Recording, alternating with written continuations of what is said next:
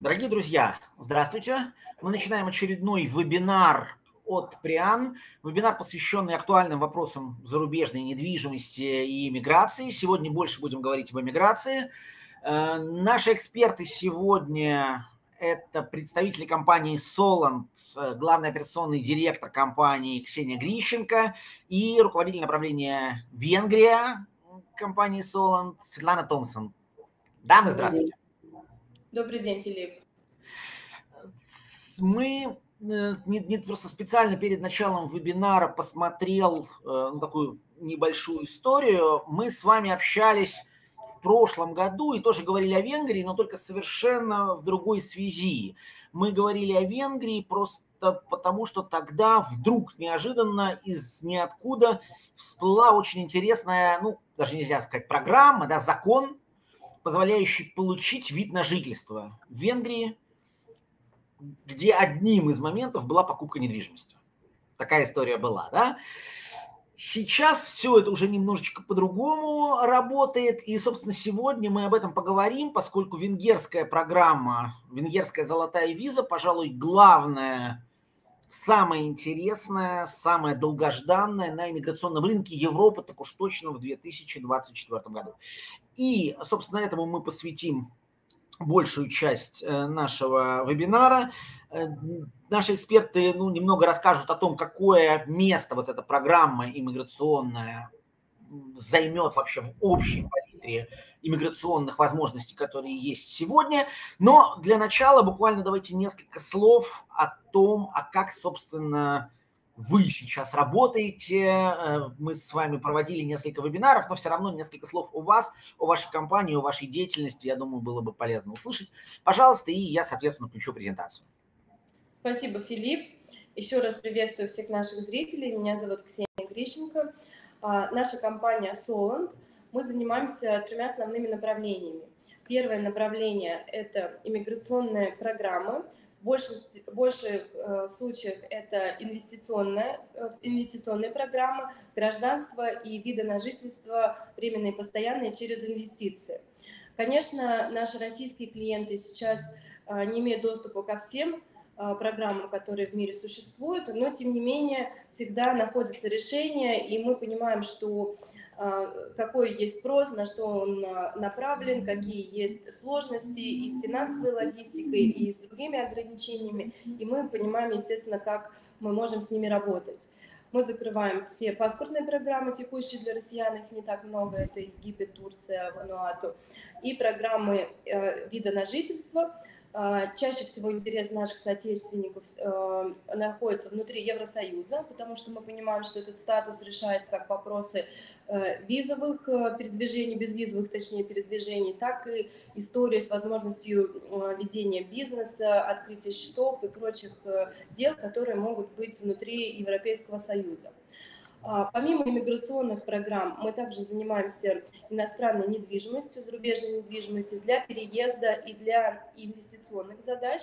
Мы работаем на рынках Ближнего Востока, в частности ОАЭ, Катар, Бахрейн, Саудовская Аравия и так далее. У нас как раз был недавно вебинар с Прианом на эту тему. Также мы работаем, естественно, в европейских странах, помимо стран Европейского Союза, э, Испании, Греции, Венгрии, Португалии. Мы занимаемся также Турцией, и Черногории. И закрываем также азиатский регион, который сейчас многим инвесторам интересен а, по ряду совокупности факторов. Это преимущественно Таиланд и Индонезия. Третье наше направление – это открытие компаний. А, чаще всего мы работаем с запросами по, рынкам, по рынку ОАЭ, потому что это такой достаточно сейчас популярный хаб и для корпоративных вопросов и так далее. Но также есть у нас возможности корпоративные в Черногории и Гонконге. Наш основной офис находится в Дубае, в Эмиратах. Мы сейчас как раз отсюда вещаем. Но помимо этого мы представлены в Стамбуле напрямую, а, и в Москве, и в Тивате, в Черногории. Это немножко про нас. А, ну и сейчас мы будем говорить про одну из наших а, актуальных, самый, так можно сказать, горячий пирожок программы Венгрии.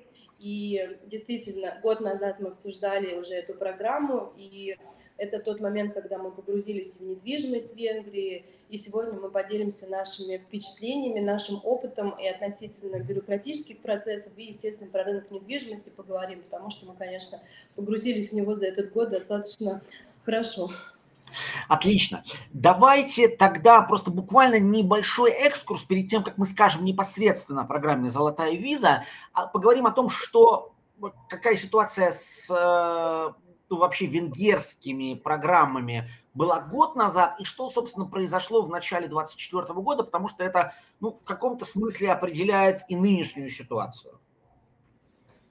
Ну, смотрите, э, по прошлому году вы правильно сказали, что это была не как таковая программа, это была, скажем так, доступная опция, да, которую мы оформляли в ВНЖ на основе закона, скажем так, такой провизии в законе, который позволял гражданам третьих стран получать недвижимость ВНЖ на основании различных, э, скажем, условий. Да. Одним из условий было инвестирование в недвижимость. То есть тогда эти условия были такими, что недвижимость должна быть именно в Будапеште, и минимальная сумма инвестиций составляла 155 тысяч евро.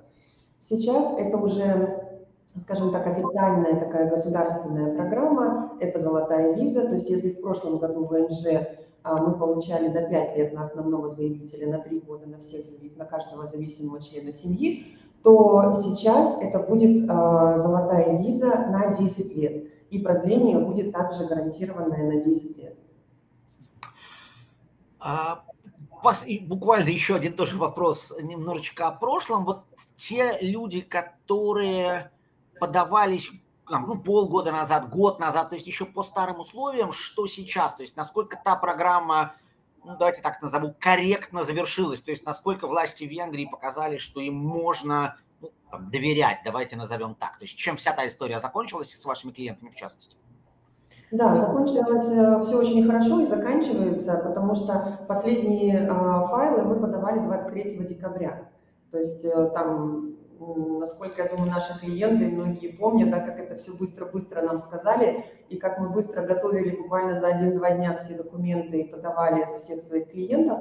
Вот, в этом году благополучно у нас, э, по-моему, уже вышли все последние клиенты, да, а, просто с 1 января до 1 марта а, иммиграционный комитет он приостанавливал выдачу заявок именно потому, что они как раз готовились к программе «Золотая виза». Вот. И с 1 марта наши все клиенты уже очень активно начали получать ВНЖ, и сейчас они все инвестируют э, в недвижимость. Поэтому здесь власти показали, что они выполнили все свои обещания, и э, из всех поданных файлов, из всех поданных э, клиентов у нас, э, ну, фу скажу, ни одного не было отказа. Вот, поэтому все наши клиенты очень довольны и приобретают недвижимость. Кто-то просто под инвестицию, чтобы это было как бы просто э, выполнить условия программы, кто-то для себя, кто-то, ну, то есть абсолютно разный уже такой подход был к выбору недвижимости. Угу. Но давайте все-таки тогда вот этот момент, после перекину небольшой мостик. Во-первых, я попрошу в чате опубликовать контакты компании Solon для тех, кто захочет связаться нам, ну, по завершении вебинара с нашими экспертами в чате, опубликуйте, пожалуйста.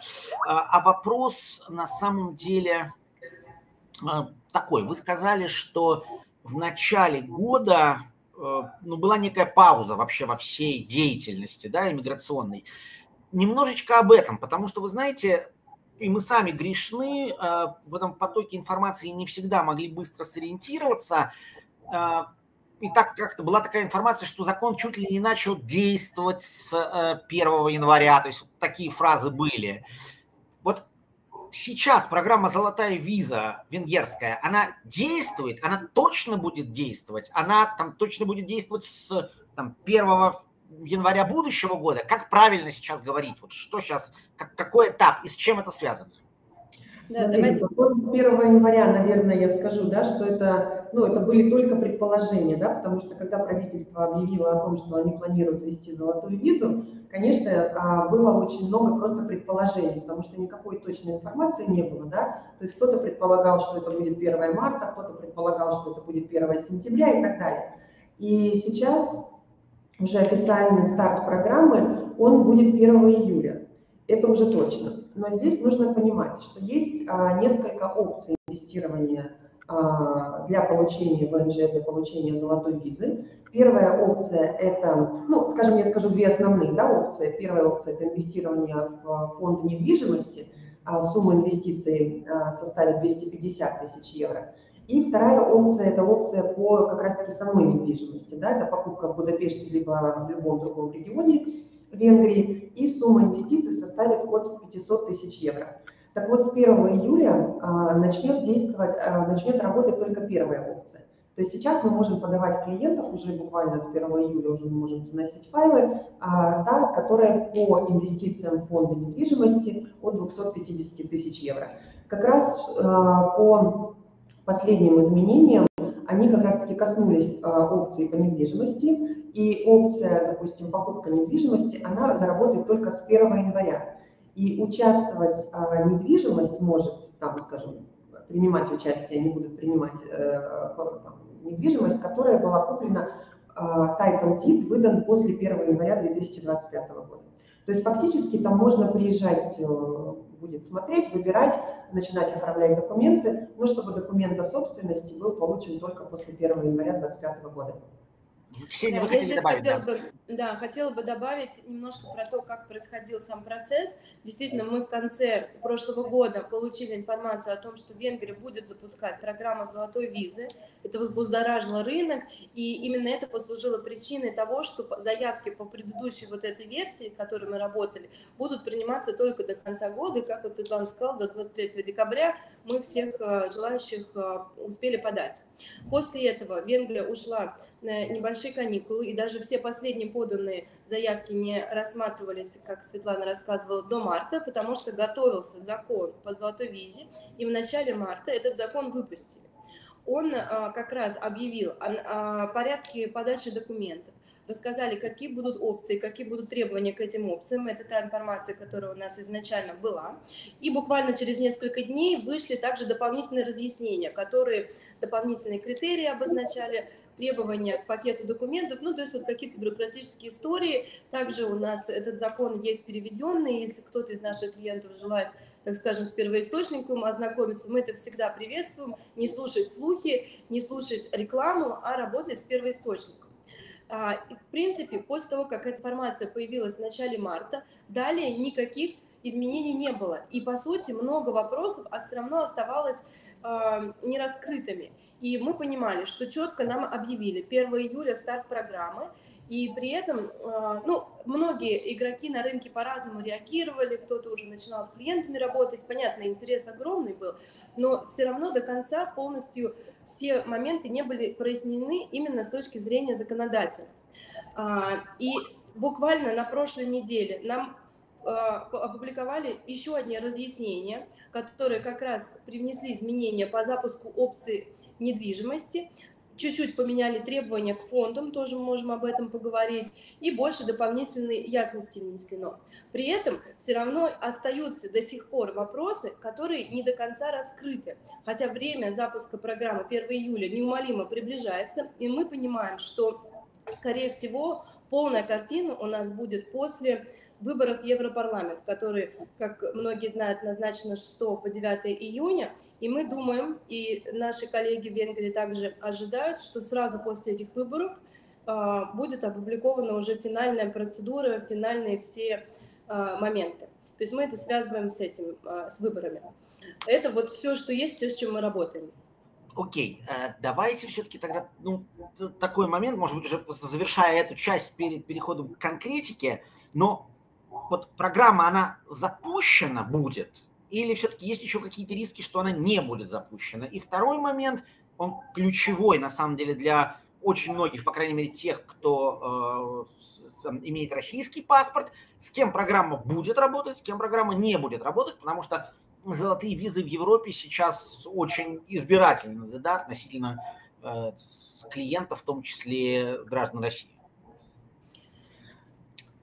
Да, да, тогда дальше отвечу, да. А, смотрите, по поводу, а, с кем будет работать. Сейчас нету ни одного запрета ни на одну национальность. То есть берут абсолютно всех, а, российские а, граждане в том числе. То есть самое главное, что здесь должна быть просто у клиента чистая история, да, то есть не должно быть судимости, не должен быть ПЭПом э, и не должен, быть, э, не должен находиться под санкциями. Вот, в принципе, все условия. А, по поводу закрытия а, золотых виз, да, а, если мы говорим о других каких-то странах, то здесь причина была все-таки немножечко не в том, что там какое-то давление оказывалось или что-то, то здесь правительство приняло это решение, потому что недвижимость, она очень сильно выросла в цене, да, потому что она, скажем так, соответствовала уровню вот этих минимальных инвестиций, да, поэтому закрыли опции по недвижимости в Португалии, а сейчас их планируют закрывать Испанию, вот мы тоже ждем, да, какую-то конкретную дату. И здесь была, то есть они хотят просто предотвратить вот эту спекуляцию по недвижимости, но а, тем не менее эти программы проработали достаточно много лет уже. И очень многие наши клиенты получили э, золотые визы и Испании, и Португалии. Поэтому здесь э, Венгрия, она, в общем-то, я не могу сказать, что она только начинает развиваться, да, недвижимость, но, тем не менее, скажем, если мы э, посмотрим на статистику, да, если мы откроем этот файлик, то, во-первых, стоимость, это там, если взять за квадратный метр или целиком недвижимость, в Будапеште и вообще в Венгрии, она намного дешевле, чем во всей остальной Европе. И, а, тем не менее, а, она очень сильно растет в цене. То есть если взять, допустим, с 2015 года, а, какая была стоимость недвижимости и сейчас, то за это время недвижимость выросла практически на 250%, то есть практически в два с половиной раза. Вот.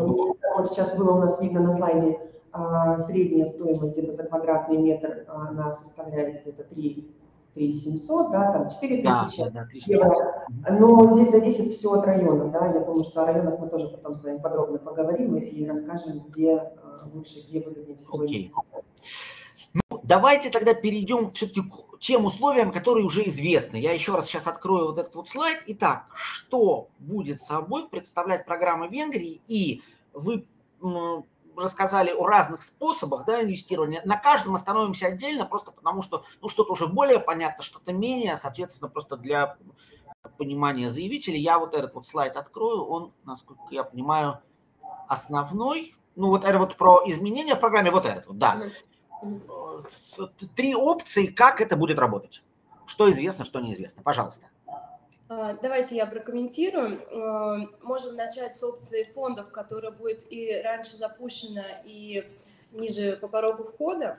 Фонды а, должны, фонды в любом случае в Венгрии регулируются Центробанком, и фонды, которые подходят под инвестиции с целью получения ВНЖ, это фонды real estate, то есть они инвестируют в недвижимость.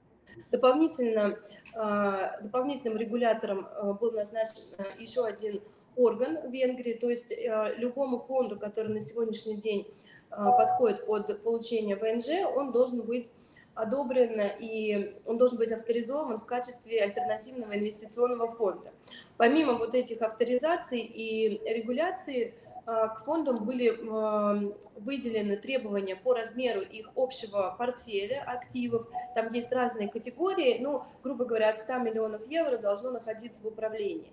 И, естественно, любая инвестиция под ВНЖ после совершения а, инвестиций инвесторам необходимо будет также получать определенные документы о соответствии этой инвестиции, но это немножко такая уже бюрократическая деталь. Сама э, история в том, что на самом деле многие фонды, которые вот за этот период с марта по май э, планировали, которые планировали участвовать в эти программы, после, э, после опубликации на прошлой неделе разъяснений выяснилось, что они на самом деле не будут подходить.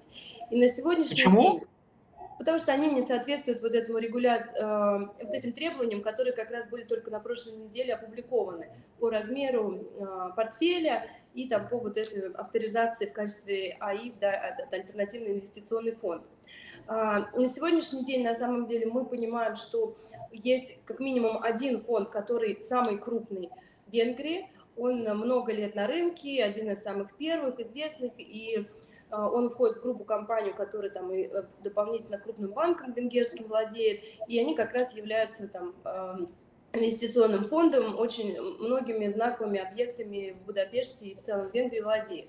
И этот фонд, э, естественно, планирует э, заниматься программой ВНЖ, и мы решили пока все там устаканивается, и новые игроки как-то что-то, может быть, меняют там в своих документах и а, планируют выходить на рынок со своими предложениями, этот фонд точно уже подходит. Мы думаем, что первые месяцы, по крайней мере, это будет монополист на рынке, но при этом э, по э, пакету активов, которым фонд владеет, он является достаточно консервативным вариантом.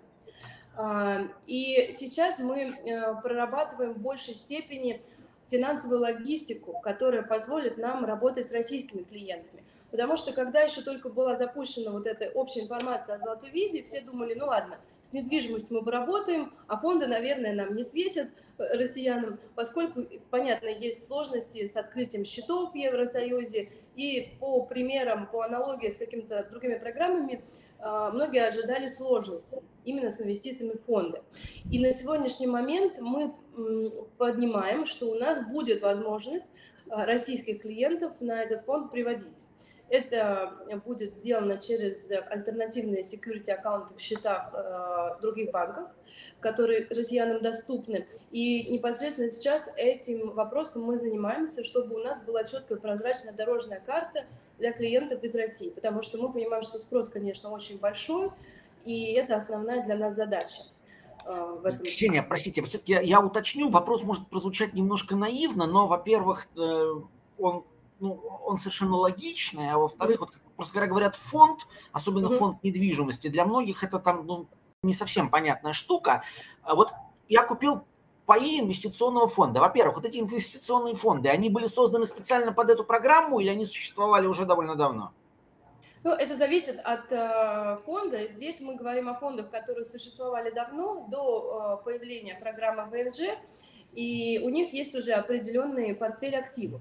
Фонды, на самом деле, если в целом мы будем говорить, они бывают открытых и закрытых типов. Да? Открытого типа фонд, он работает на постоянной подписке, когда можно какой-то размер минимального пая купить, это устанавливается минимальный размер фондом. Это может быть там 1000 евро, это может быть 250 тысяч евро, вот один пай, как они решат.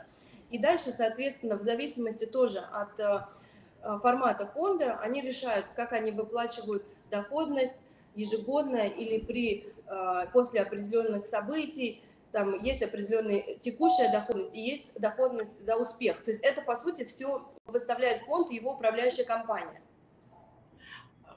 А, еще тогда хотел бы уточнить, вы сказали, что эта штука довольно консервативная.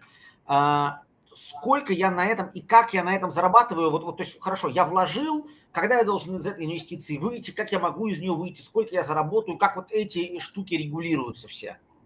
Да, на самом деле я не могу сказать, что фонды это консервативный инструмент. Я больше консервативно э, рассказывала про тот фонд, который, э, которым мы думаем будет монополистом первое время на рынке Венгрии. Значит, э, опять-таки вопрос доходности и предполагаемой доходности, он зависит от стратегии каждого фонда. То есть может быть фонд, который инвестирует в недвижимость и хочет выиграть на росте цены, да, то есть на капитализации. И они говорят, мы собираем сейчас 10 заявок по 250 тысяч, там, да, ну, из серии, там, я не знаю, у нас там э, целевой пакет 50 миллионов евро, на эти деньги мы купим 5 зданий, реновируем и через 5 лет продадим, и мы ожидаем доходность там такую-то, и распределим тогда вот там по ну, там, 20% между инвесторами. Ну, это, к примеру, да, цифры. Это одна история. А есть история, когда фонд владеет, например, 10 э, торговыми центрами на территории всей Венгрии, у них есть текущая э, арендная доходность, которую они э, распределяют в какой-то доле между всеми владельцами. То есть это зависит, по сути, от фонда. И здесь наш фонд, о котором мы говорим, он как раз консервативной арендной стратегии, то есть не приобретение там новых объектов, а, э, соответственно, вот какие-то какие текущие варианты. Естественно, каждый фонд, он также может диверсифицировать свои активы внутри портфеля, чуть что-то э, докупать, может быть, где повыше будет доходность предполагаться. То есть такая история. Мы в любом случае, участвуя в фонде, доверяем управлению своими деньгами, э, управляющей компании. И то, какую стратегию они заявляют, мы уже тогда смотрим, она подходит нашему риск-профилю и вообще пониманию рынка или нет.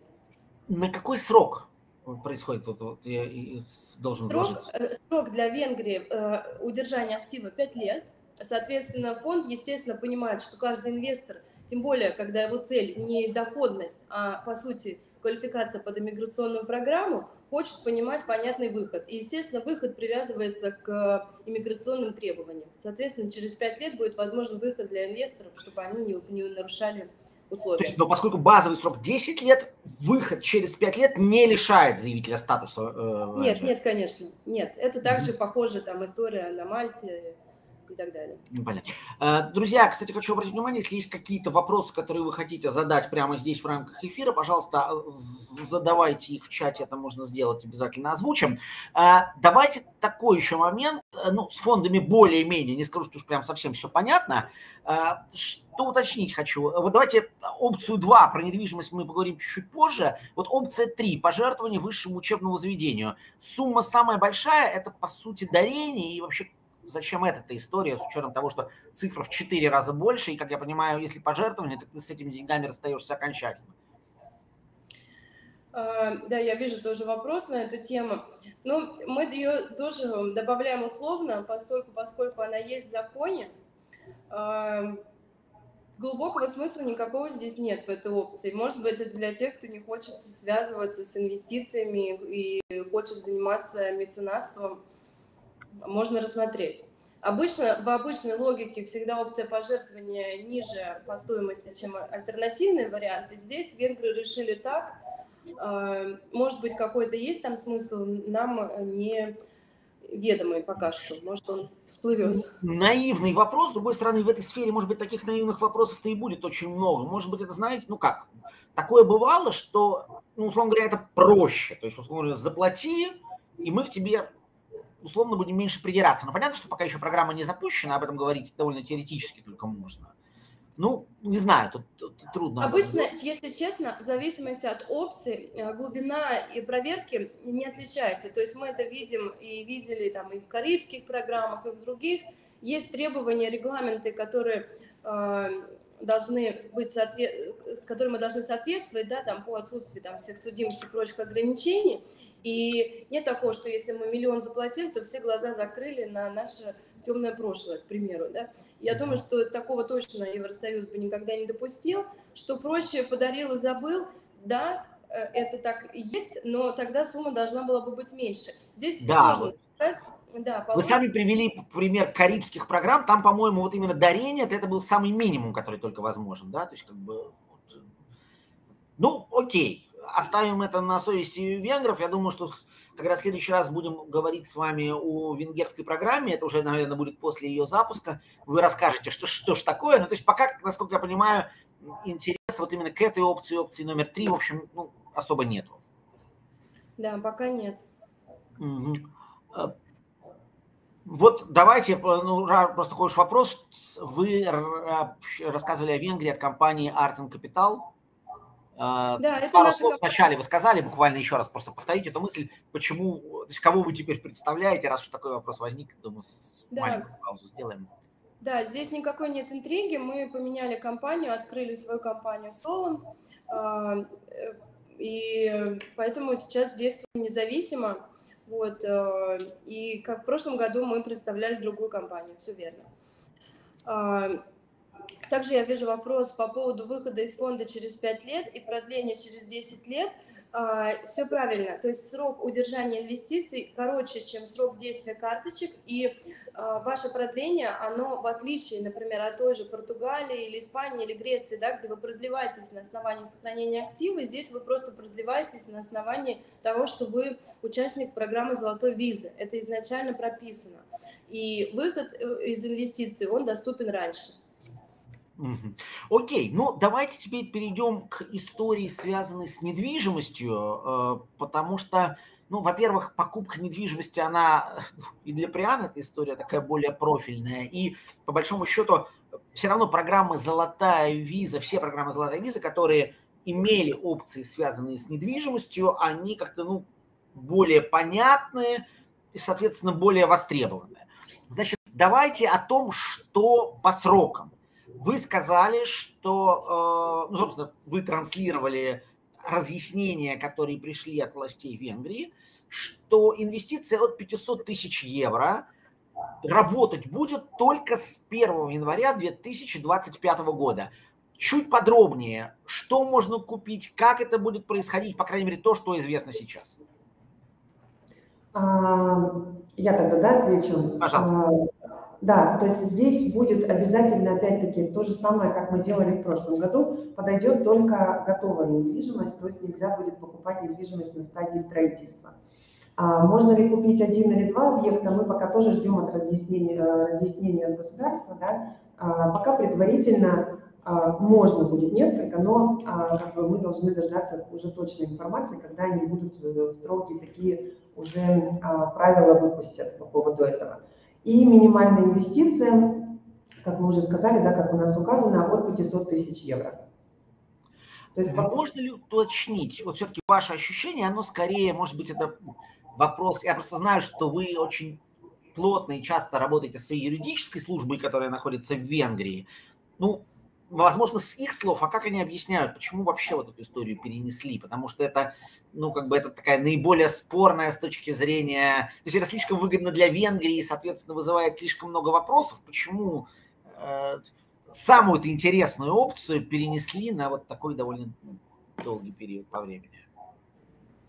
Ну, что, что деле... говорят? Да, на самом деле мы, это не то, что слишком выгодно для Венгрии, все равно сумма не такая маленькая, да, это не 250 тысяч, и даже там э, в прошлом году мы работали еще с более низкими бюджетами. А, здесь, э, скорее всего, они не готовы с э, бюрократической точки зрения, потому что как опубликовано в разъяснениях к закону, что необходимо будет любую инвестицию подтверждать определенным сертификатом соответствия, и я думаю, что что-то на этапе бюрократии еще не до конца разъяснено. Все-таки фонды изначально всегда были более зарегулированным, а, зарегулированы отраслью, и здесь оказалось проще это перенести и совместить с иммиграционным законодательством, а недвижимость, тем более вторичная недвижимость, она всегда, ну, не сказать, что это какое-то поле для спекуляции, так не могу сказать. Но в любом случае мы понимаем, особенно мы с вами работаем на международных рынках, мы понимаем, что много везде деталей, которые необходимо привести к общему знаменателю.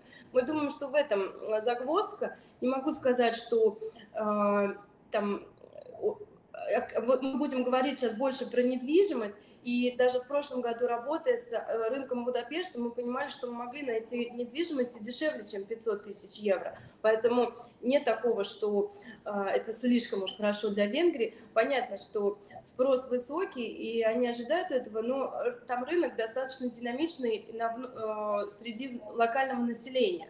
Вот, поэтому здесь мы считаем, что причина в неготовности с бюрократической точки зрения. Окей. Ну вот еще просто несколько уточняющих вопросов по поводу того, что известно, что нет. Можно ли будет сдавать объект в аренду? Если да, то какая заходность? А, можно ли это привлечь какую-то аутсорсинговую компанию, но ну, имеется в виду купил, отдал в управление и до свидания. Может ли это быть апарт-отель, то есть объект, который изначально, ну, жилой формально, но жилой так относительно, то есть это все равно коммерческая недвижимость. Что известно, да. что нет? Коммерческая недвижимость сюда не подойдет, это должен быть обязательно только жилой объект. А по поводу сдавать в аренду или нет, по предыдущей программе, да, по предыдущему закону, да, опции, скажем, которые мы делали, а сдавать недвижимость было нельзя, то есть официально это а, было запрещено.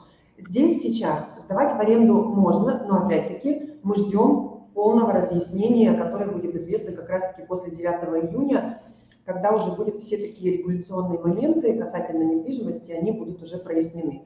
То есть сейчас, скажем, у нас есть строго, а, есть правила, там, а, требования к фондам, да, о которых вот Ксения как раз-таки рассказала, и по недвижимости есть там такие, такие поверхностные моменты, и все остальное мы ждем, когда нам будет уже какое-то официальное такое разъяснение от государства. Да, но, по крайней мере, нам пояснили, что мы не ограничены регионом Будапешта, да, как э, в прошлом году мы работали только в черте города, хотя все равно э, интерес больше к столице притягивается, но, тем не менее, такого требования нет. И э, по поводу доходности управляющих компаний, а, если это резидентский статус, то на сегодняшний день мы предполагаем, что это будет возможно привлечь и управляющую компанию для краткосрочной и долгосрочной аренды или самостоятельно заниматься сдачей. И доходность, соответственно, она рыночная, она зависит от локации. Мы чуть-чуть позже, на самом деле, подготовили а, небольшой обзор Будапешта, различных районов, и с удовольствием расскажем, потому что мы сами уже полюбили Будапешт и недвижимость в этом городе.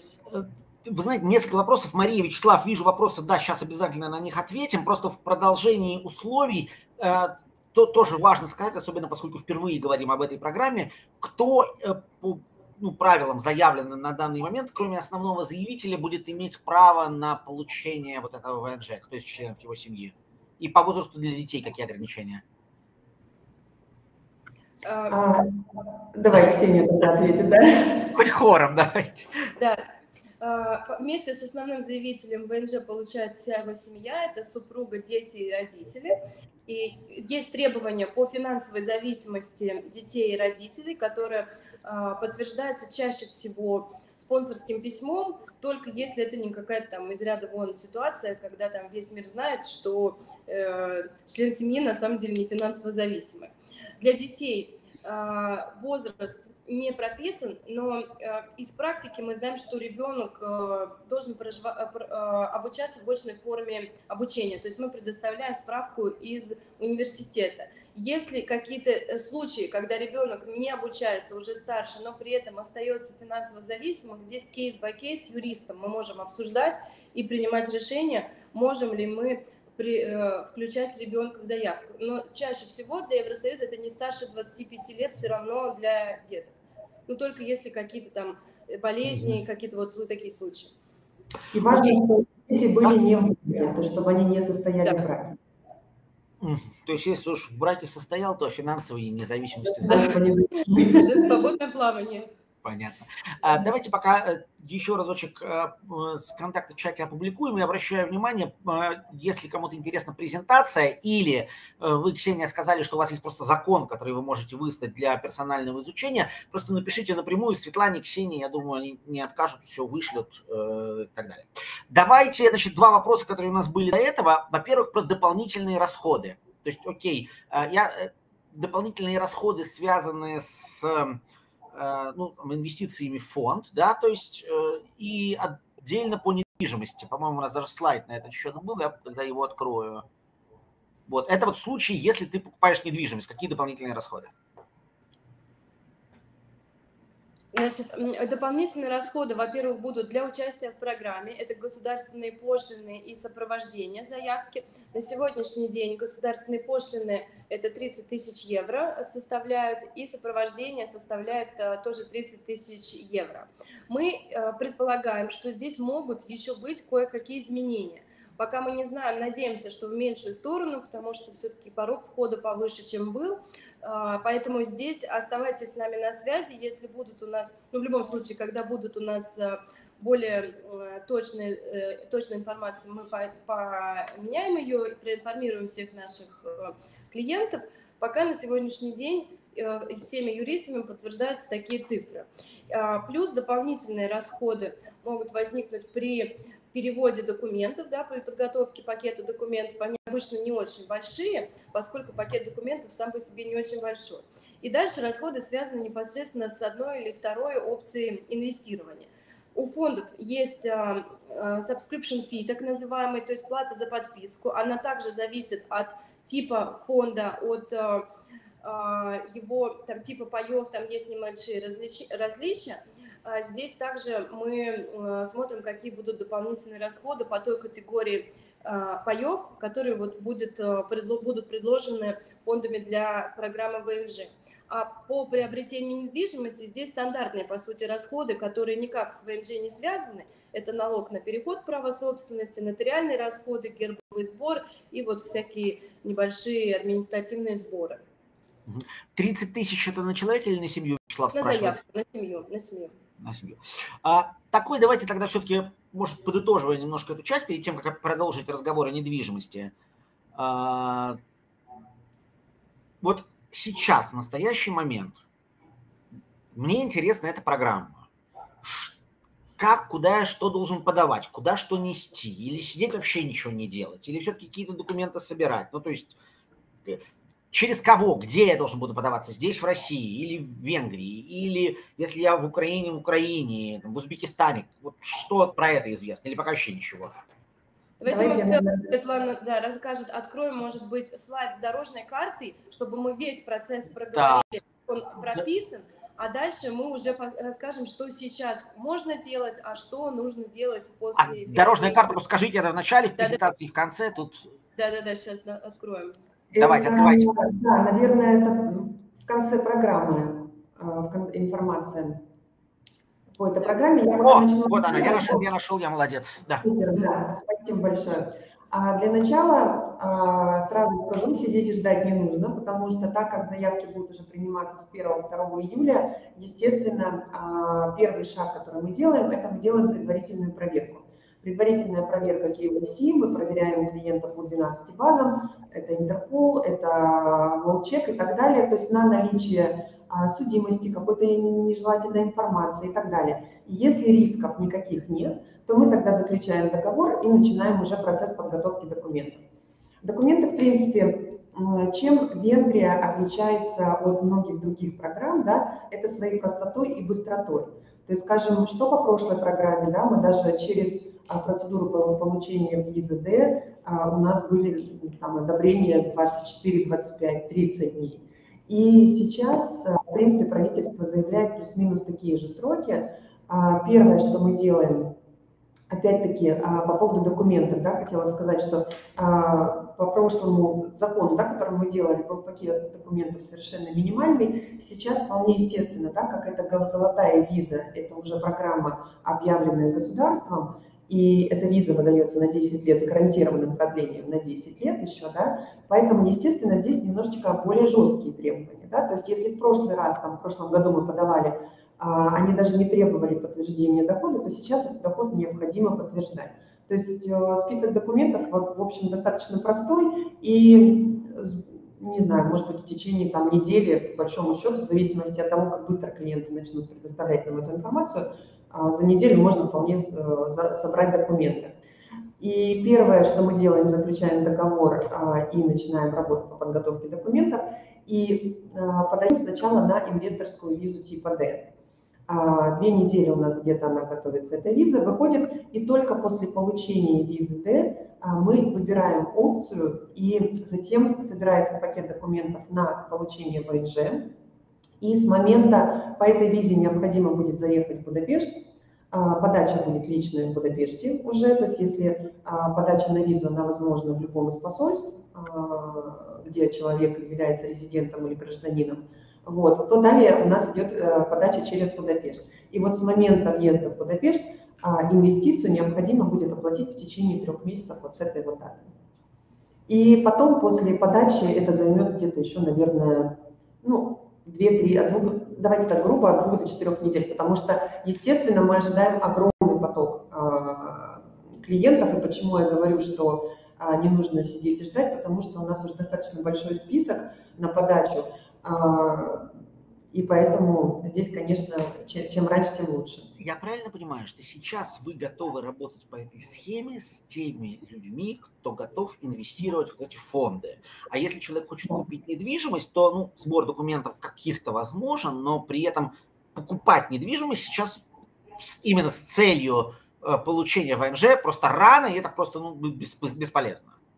Ну, это бессмысленно, потому что в любом случае за это время могут выйти какие-то еще правила, какие-то еще изменения. Мы своих клиентов не, а, скажем так, не можем да, а, подставлять и чем-то ограничивать. То есть, когда уже будет ясность какая-то по а, недвижимости, тем не менее, у нас сейчас очень много клиентов, которые вперед уже хотят поехать посмотреть, то есть у нас кто-то уже съездил, кто-то сейчас находится в Будапеште, они смотрят вообще, что можно приобрести, ориентируются по районам, смотрят, да, то есть как бы можно вот это вот уже какие-то процедуры такие начинать, да, и опять-таки, если вы хотите поехать, по большому счету все покупки, все покупка возможна по дистанционно, то есть не обязательно туда ехать, но сейчас все-таки стоимость недвижимости, да, минимальная инвестиция, она практически там в 3-4 раза больше, чем в прошлом году, да, поэтому, естественно, многие клиенты уже там за 500 тысяч евро, они хотят поехать посмотреть, что такое Будапешт, в какие районы лучше инвестировать, а хочет ли он там жить, а хочет он перевести семью или просто, и уже, а, то есть заранее, чтобы уже иметь какое-то представление, потому что мы все равно ожидаем, что с момента там, приближения к дате инвестиций, да, к 1 января, недвижимость будет еще расти. Это вполне естественно. То есть в Будапеште и так цены растут на недвижимость, а здесь они уже будут, а, ну, скажем так, к этой программе подрастать. Да, Будапешт, да, как бы там очень странно. Э, венгерская недвижимость, недвижимость Будапешта и венгерская в целом недвижимость Будапешта, они немножко по-разному себя ведут, но в любом случае не сильно соразмерно с Европой. Вот пошло несколько вопросов сразу. Давайте так. А порядок оплаты услуг и пошлин. То есть вот если человек сейчас начинает, что, в каком режиме, когда он оплачивает дополнительные услуги и так далее, первые платежи, какие они, ну, просто в общем хотя бы, что можно сказать? А, на самом деле, поскольку этап подачи состоит из нескольких частей, это и подача, запись консульства, подача получения визы типа D, далее уже поездка в Будапешт, сдача биометрии непосредственно там, то есть определенные этапы, когда оплачиваются пошлины, когда сопровождение. Здесь уже в зависимости от состава семьи мы с клиентом обсуждаем, потому что все равно по фондам, например, да, по подпискам, там есть небольшие моменты, которые мы финализируем. То же самое я вижу от Алексея вопрос по поводу, можем ли мы сейчас давать деньги на security счета. Я предлагаю дождаться финализации и синхронизации с управляющей компанией фонда, чтобы мы четко по дорожной карте уже шли и понимали, где будет э, какой счет подойдет для этого, в какой стране, и мы сейчас на самом деле по секрету тоже некоторые решения разрабатываем, которые будут комфортны именно с точки зрения вот особенностей и регуляций именно наших российских клиентов. Мы знаем, какие банки, как работают, и хотим вот какое-то готовое решение предложить. Когда, когда тогда обращаться с этим вопросом? Неделя, ну, две, мы... месяц? Я думаю, что после выборов будет финально уже все карты на столе открыты, да, по фондам точно. А сейчас буквально на ежедневном, на ежедневном ежедневно мы общаемся с фондом и разные моменты там обсуждаем, как это собрать. А, в любом случае, сама инвестиция в фонд, она будет после одобрения визы D, то есть даже после 1 июля, пока мы подадим, вот Светлана говорит, там две недели, иногда, может быть, до 21 дня, да, доходить вот этот по визе D. То есть в любом случае а, к этому моменту все вопросы технического характера финализируются. Естественно, для инвестора главное будет понять, куда именно он инвестирует, какой там состав активов в фонде и так далее. Здесь это у нас уже все есть. Все-таки еще один момент. Вы сказали про это. Вы сказали, что пока есть один, который более-менее уверенно фонд удовлетворяет критериям. Просто чтобы было понимание, это единственный фонд, который удовлетворяет критериям, или это единственный фонд, который уже точно может работать, скажем, например, с, там, с гражданами Беларуси или России? Или... А, смотрите, фонд нет ограничений по национальности а, в Венгрии, поэтому здесь вопрос не к фонду, не к, не к кому-то. Фонд э, – это также финансовая организация, да, которая должна соответствовать определенным критериям, которые в банковской сфере находятся, да, по комплайнсу, проверке денег и так далее. Поэтому здесь нет ограничений на национальный призрак, есть ограничения по а, проверкам, да, по KYC, комплайнсу. И, соответственно, вот эти моменты, они сейчас как бы причесываются, да, потому что мы предполагаем определенный поток. Что касается фонда, о котором я говорила, он точно будет уже работать под золотую визу, он соответствует, он готов принимать клиентов. А, остальные фонды а, пока только хотят как, ну, то, что мы слышали, возможно, что-то появится. Я думаю, что в ближайшие дни это будет много на эту тему каких-то новостей, но мы видим вот одно четкое решение, и дальше уже будем смотреть альтернативы. Ну, в таком случае просто беру с вас обещание, как только у вас появятся новости, чтобы мы смогли рассказать об этом и на Приане, ну, а уж по поводу там, стоит ли проводить отдельный вебинар, это решим чуть позже, в зависимости от масштаба, от масштаба происходящих изменений. Угу. Хорошо, давайте тогда э, все-таки перейдем к недвижимости. Э, ну, понятное дело, что за ближайшие полгода у школе нужно будет э, там с начала будущего года оформлять недвижимость на себя, да, под программу, что сейчас это просто бессмысленно. Хотелось бы просто тогда понять, если уж мы переходим к недвижимости, ну, могут, конечно, цены вырасти, даже наверняка вырастут, ну, ну там, как, в каких-то вариантах, но с другой стороны, это все равно при, ну, порядок останется примерно тот же. Тут трудно ожидать каких-то безумных всплесков.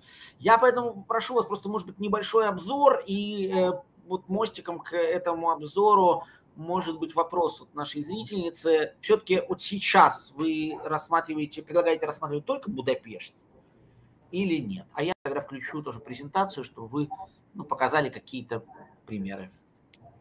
Ну, смотрите, нужно понимать, что все-таки а, Будапешт – это самый главный город Венгрии, это столица, столица. А, в Будапеште очень много туристов, в Будапеште очень много а, сейчас базируется крупных международных компаний, да, туда приезжают работники, да, менеджмент этих компаний.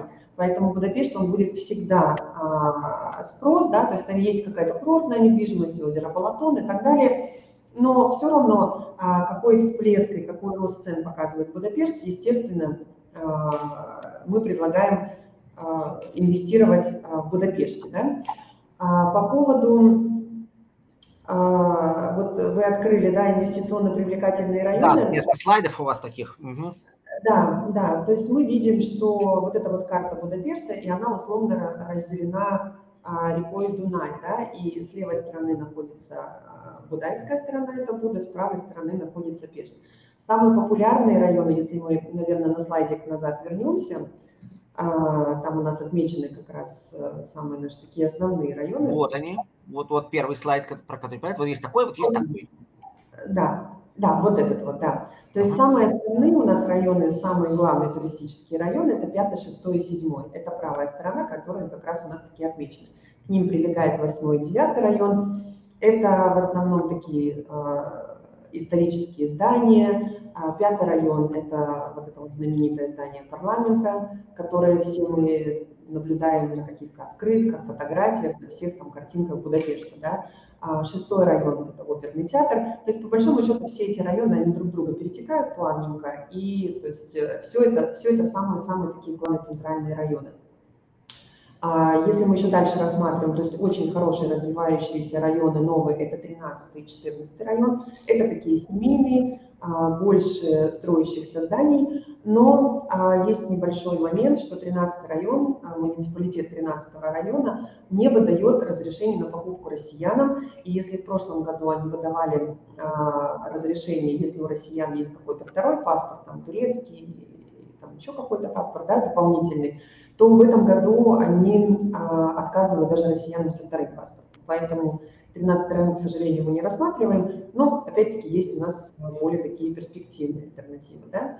И а, очень хороший, если мы берем левую часть, это первый 11 район, и второй 12 район, это где расположены международные школы, а, университеты и так далее. Да? То есть здесь, а, по сути, нужно будет просто, а, мы исходим из потребности нашего клиента, да, а, какой, что он все-таки хочет, да, то есть это а, будет ли недвижимость для инвестиций, будет ли это недвижимость для себя, а, кто-то планирует у нас из клиентов переезжать всей семьей туда, то есть тоже такой, да, это уже разные какие потребности, да, и исходя из этого мы уже будем советовать какой-то определенный район. Опять-таки бюджет тоже, минимальная инвестиция это 500 тысяч евро, но как бы она будет там до плюс бесконечности, да, и здесь также а, клиент нам ставит какие-то там свои пожелания, критерии, под которые мы уже а, находим недвижимость. И что хочу сказать, что так как мы на самом деле, мы действительно, мы очень много а, проводили клиентов, да, мы оформляли ВНЖ в прошлом году, и у нас был огромнейший поток. А, мы а, сами ездили в Будапешт несколько раз,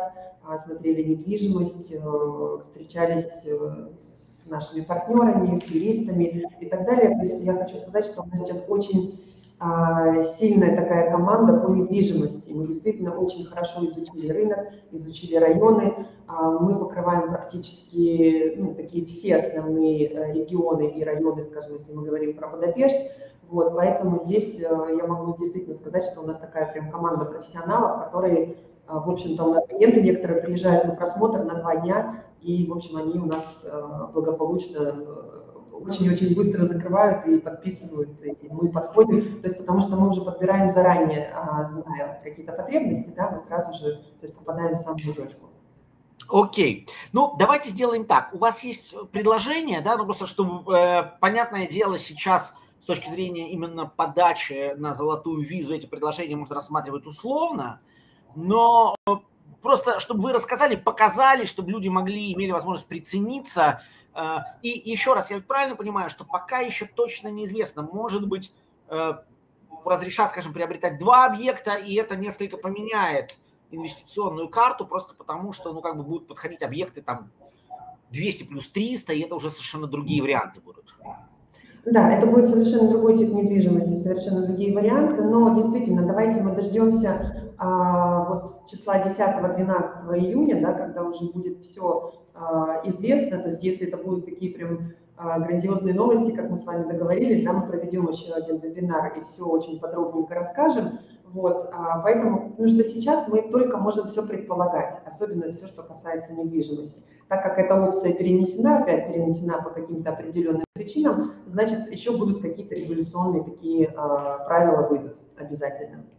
Хорошо, давайте, ну просто да, буквально, вот я пролистаю, понятное дело, просто как некоторые примеры, может быть, вы на что-то обратите внимание вот в этих проектах. Да, здесь у нас просто мы э, в разном бюджете показали, какие бывают предложения, то есть это а, квартира у нас в пятом районе, как я говорила, пятый это самый востребованный, самый дорогой район. А, цена за квадратный метр в пятом районе стоит где-то от 5 до 8 тысяч евро.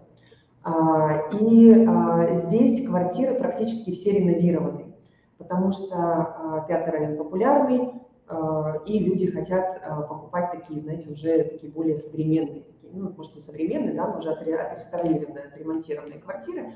Вот мы видим также квартира очень хорошая, 111 квадратных метров, тоже пятый район. Я понимал, это вы предлагаете первичку, вторичку, просто они выглядят так, что какие-то дворцы такие. Нет, нет, нет, нет, это дворцы, это действительно, это очень красивые исторические здания, а, просто они все вот э, там отреставрированы, некоторые дома отреновированы, и вот, э, в принципе, мы смотрим, можем здесь видеть, да, что по бюджету и по состоянию, то есть очень такой хороший современный ремонт, но здания, они действительно все очень такие, э, все исторические.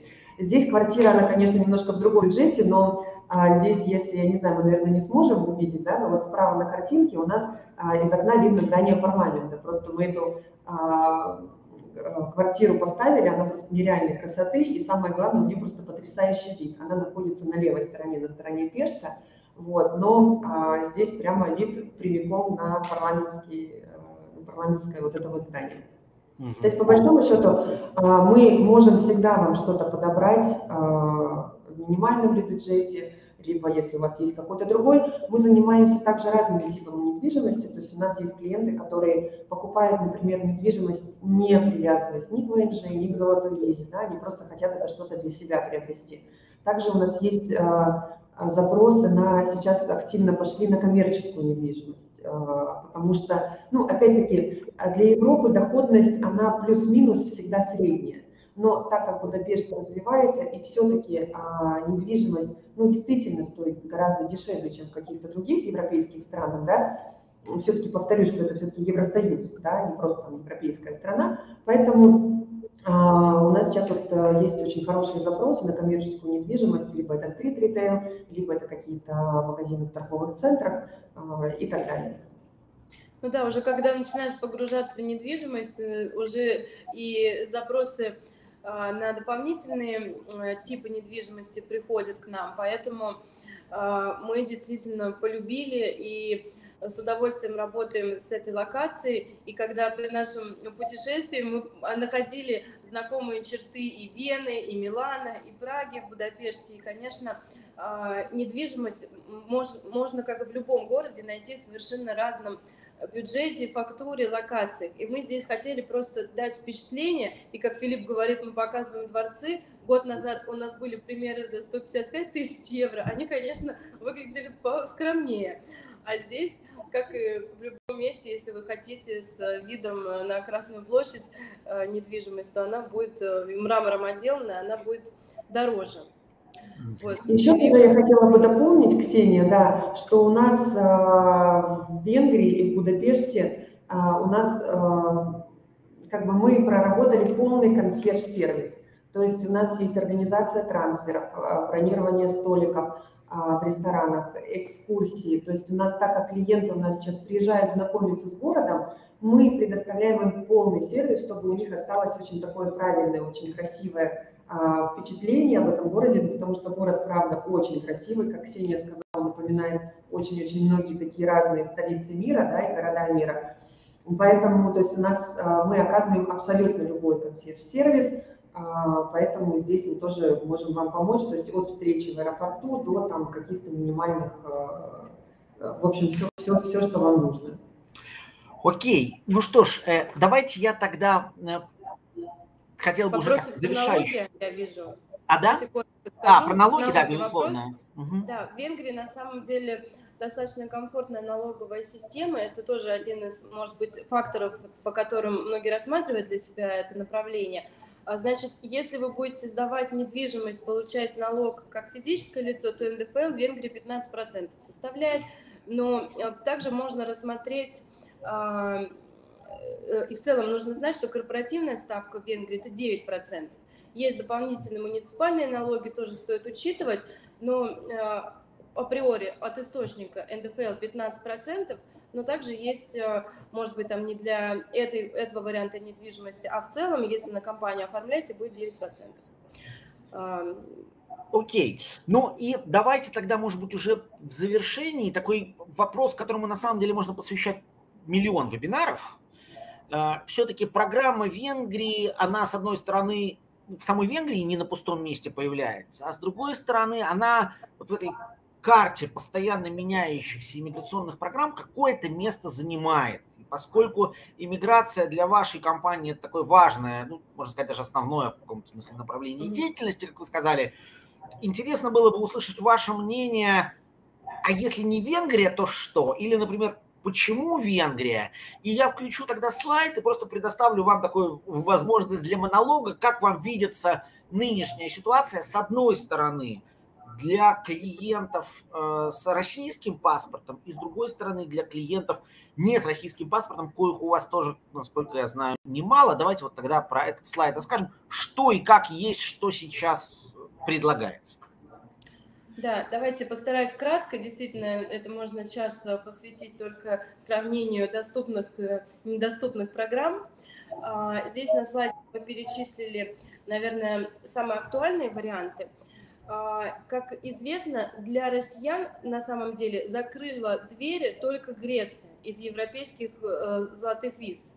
И то, если есть второй паспорт у хотя бы одного, у основного члена семьи, основного заявителя, то и Греция нам доступна. Все остальные программы работают, есть, может быть, определенные там, опять-таки, логистические сложности, как, например, в Португалии с открытием счета, но есть и определенные решения для этого, поэтому кейс by кейс. Если коротко рассмотреть, Кипр остается одним из лидирующих направлений, всегда очень дружелюбно относится к нашим соотечественникам. Это ПМЖ, что, соответственно, позволяет долгосрочную связь с страной планировать, инвестиции достаточно комфортного размера, но э, минус в том, что Кипр все-таки до сих пор еще не Шенген. Все мы ждем а, когда он вступит, тогда это, конечно, будет э, life-changing история. На сегодняшний день основное преимущество Кипра – это возможность налогового планирования, это все-таки резидентство внутри Евросоюза, и дополнительные какие-то финансовые вопросы позволяет решать. Ну и в целом комьюнити, приятный климат, неплохая недвижимость, огромный выбор. Это что касается Кипра. Дальше, э, Испания всегда работала, никаких заминок в принципе не было. Единственный минус Испании – это порог входа 500 тысяч евро, все-таки выше, чем там соседние программы. И сложность э, перехода на паспорт, то есть отсутствие возможности натурализоваться без переезда, и при этом Испания официально второе гражданство не разрешает.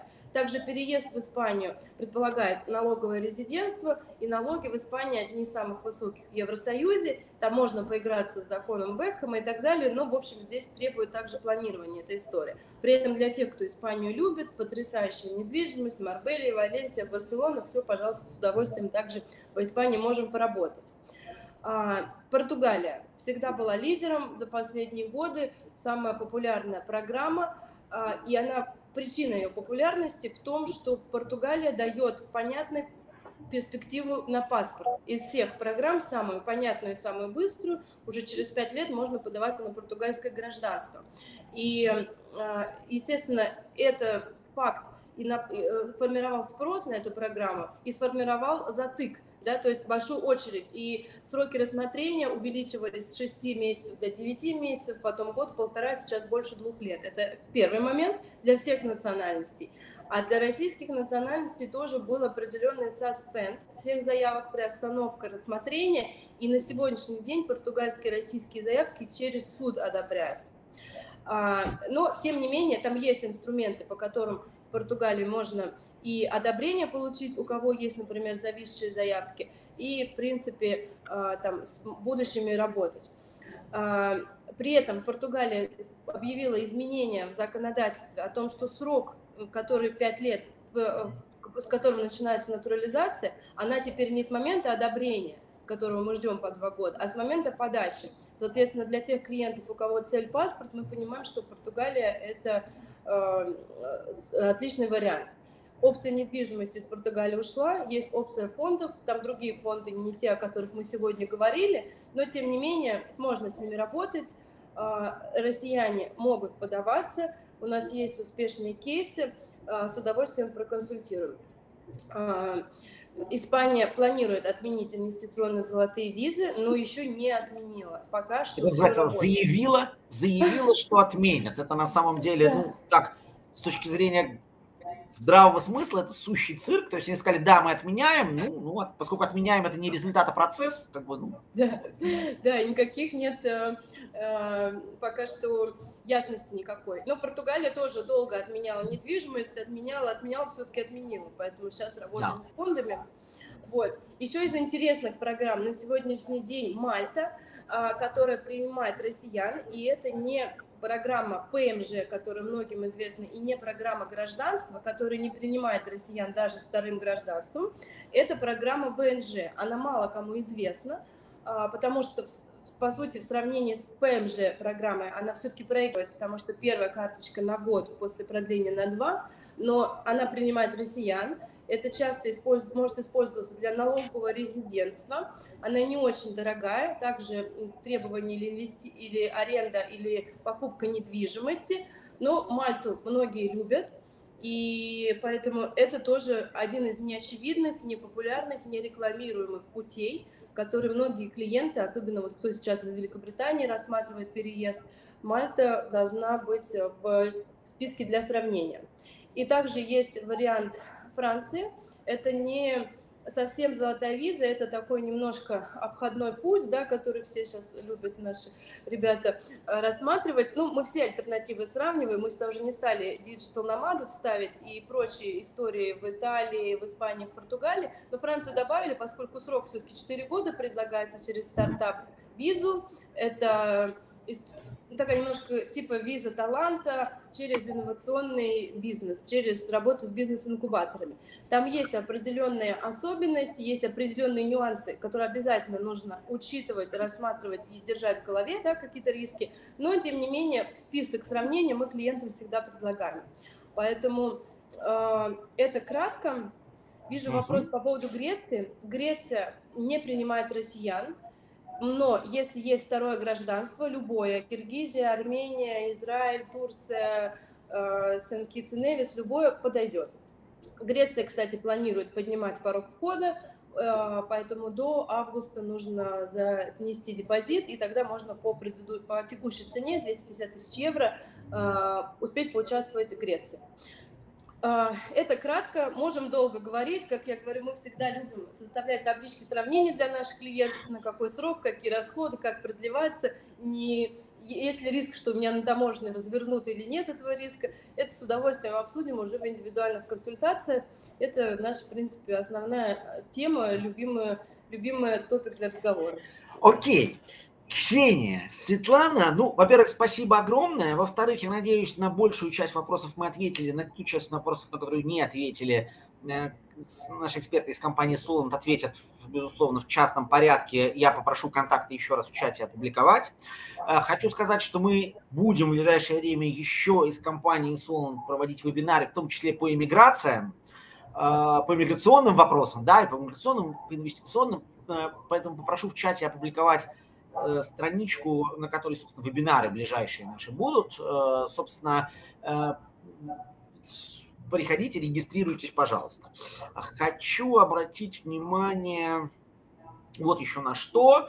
В ближайшее время мы опубликуем несколько статей, э, в частности, с компанией Solent на Приан, посвященных э, ну, и итогам всех наших вебинаров, а мы этой весной их провели довольно много, но вот ссылочка на наши мероприятия появилась, там много и инвестиционных, и иммиграционных мероприятий, которые еще будут в ближайшее время, можете там регистрироваться, будем очень рады вас видеть. Ну, а по Венгрии, на самом деле, Светлана, Ксения, беру с вас обещание, как только в ближайшие там, недели какие-то новости появятся, что мы с вами как-то снова выйдем на связь. Вебинар не вебинар, но чтобы информация появилась, в том числе и для тех наших зрителей, кто сегодня на наше мероприятие пришел. Итак, Ксения Грищенко, главный операционный директор компании Solent, и Светлана Томпсон, руководитель направления Венгрия компании Solent. Спасибо вам огромное. Как обычно, в час не уложились, но, думаю, не пожалели. Старались. Спасибо большое, Филипп. Спасибо зрителям. Остаемся на связи. Контакты компании есть, поэтому, пожалуйста, обращайтесь. Ну и встречаемся на страницах прямо на вебинаре, прямо ну и в офисе компании Solon. Спасибо большое. Спасибо всем. До свидания. До свидания.